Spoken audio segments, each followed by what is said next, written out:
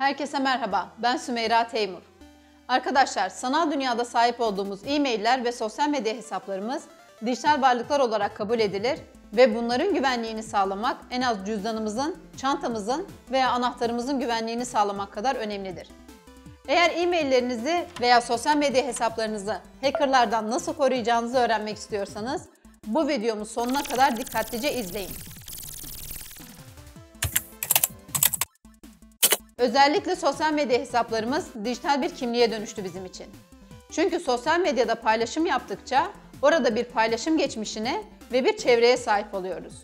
Bu da hesaplarımızı her geçen gün daha güçlü ve daha değerli olmasını sağlıyor. Sosyal medya hesaplarımızdan birinin çalındığını düşünelim. Bir kere orada edindiğimiz bütün çevreyi ve bütün paylaşım geçmişini kaybederiz. İkincisi, bizim adımıza uygunsuz paylaşımlar yaparak başımızı ciddi şekilde derde sokabilirler. E-mail hesaplarımız ise e, sanal ortamda insanlarla iletişimde kalmamızı sağlayan en güçlü araçlardan bir tanesi. Şimdi diğer taraftan bütün zaten diğer site üyelikleri ve sosyal medya hesapları da e-maillerimize bağlı. Yani birisi benim e-mailime erişebilirse ona bağlı bütün site üyelikleri, alışveriş sitesi üyelikleri ve sosyal medya hesaplarına da erişebilir demek. Dolayısıyla e-mailin güvenliği belki de sosyal medya hesaplarının güvenliğinden çok çok daha önemli. Diğer taraftan yine birisi e-mailimizi ele geçirirse bizim adımıza sağa sola uygunsuz mesajlar atarak yine başımızı ciddi şekilde derde sokabilir. Ancak panik yapmaya gerek yok. Çünkü dijital varlıklarımızı iki kolay adımda koruma altına alabiliriz. Birincisi kırılması zor bir şifre yazmak, ikincisi de bütün hesaplara mutlaka iki adımlı doğrulama koymak. Peki kırılması zor bir şifre nasıl yazılır? Şimdi şu iki şifreye bakalım. Sizce bunlardan hangisini hatırlamak daha kolay? Tabii ki bu. Peki sizce bunların hangisinin kırılması daha zor? Bu değil. Yine bu. Arkadaşlar, karman çorman karakterlerden oluşan şifreler yazmak sadece insanların bu şifreleri tahmin etmesini zorlaştırır. Makinelerin değil. Bir şifrenin kırılmasının zor olması aslında temelde ne kadar uzun olduğuna bağlıdır.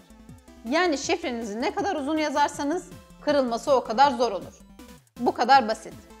Yani hatırlamanızı imkansız hale getirecek, işte random karakterlerden oluşan, içerisinde bir sürü ekstra karakter olan büyüklü, küçüklü, harfler, rakamlar böyle bir şifre yazmak bu şifreyi ekstra güvenli kılmaz.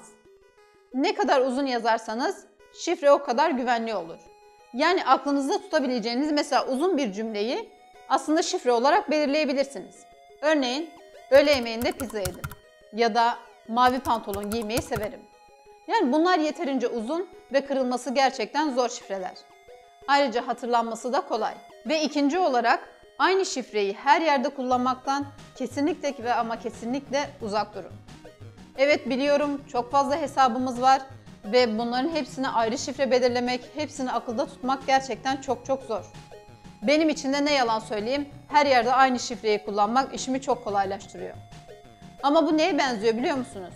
Evinizde, ofisinizde ve arabanızda aynı anahtarı kullanmaya benziyor. Yani çok çok tehlikeli. Ancak yeterince uzun bir şifre belirlemiş olsak da çok fazla saldırı olması durumunda yine hesabımıza bir şekilde ulaşabilirler. Fakat bunun da önüne geçmenin bir yöntemi var. İki adımlı doğrulama kurmak. İki adımlı doğrulama şifre ekranından sonra hesabınızda ikinci bir güvenlik katmanı oluşturuyor. Yani sistem şöyle çalışıyor. Siz ayarlara girip iki adımlı doğrulamayı aktifleştiriyorsunuz. Ondan sonra hesaba giriş yaptığınızda kullanıcı adı ve şifresini girdikten sonra e, ikinci bir ekran geliyor. Oraya da size SMS ile göndermiş olduğu kodu istiyor. Ancak o kodu girdikten sonra hesaba giriş yapmanıza izin veriyor.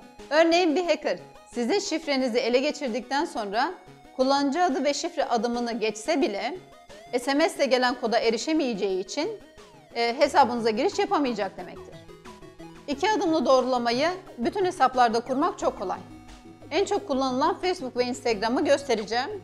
Diğer bütün hesaplarda da aslında benzer ayarlar menüsüne girerek bu işlemi gerçekleştirebilirsiniz. Facebook'ta ayarlara giriyoruz, güvenlik ve girişe giriyoruz ve buradan iki adımlı doğrulamayı seçiyoruz. Instagram'da da aynı şekilde ayarlara giriyoruz, güvenlik adımına giriyoruz ve iki adımlı doğrulamayı buradan aktifleştiriyoruz. E-mail hesaplarınız dahil bütün hesaplarınıza iki adımlı doğrulama kurmayı gerçekten çok şiddetle öneriyorum. Hatta bu videoyu izler izlemez lütfen hemen bütün hesaplarınızda bu işlemi yapın. Umarım verdiğim bilgiler faydalı olmuştur. Lütfen fikirlerinizi yorumlara yazın. Kanalıma abone olmayı unutmayın. Sevgiler.